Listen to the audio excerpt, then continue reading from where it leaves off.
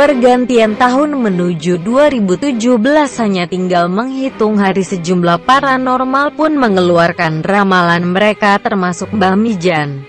Lewat akun Twitter miliknya ia mengungkapkan prediksi tahun depan akan banyak wanita tampil bugil saat video selfie. Ia juga meramalkan akan ada tren mengkhawatirkan dalam ranah video selfie. Paranormal populer ini pun memberikan cuitan tentang hubungan antara pria dan wanita serta tren di media sosial. Mbah Mijan juga meramalkan pada 2017 akan terjadi kehebohan terkait dengan eksploitasi perempuan. Tak hanya soal tren foto selfie dan kecenderungan pria suka perempuan yang berdandan alami Mbah Mijan juga meramalkan pada 2017 akan muncul kehebohan baru karena cinta sesama jenis.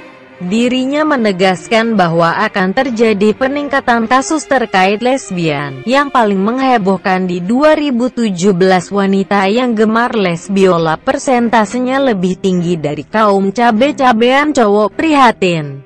Tulisnya Mbak Mijan meski demikian sepanjang 2017 akan banyak kaum pria yang lebih suka wanita dengan kecantikan alami atau tanpa menggunakan make up tebal.